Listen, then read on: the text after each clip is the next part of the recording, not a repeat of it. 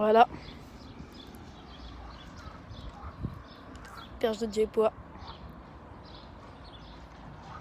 Cinda, comment faire pour y en tirer ça de la bouche? Elle l'a bien gobé. Ah, c'est un péché.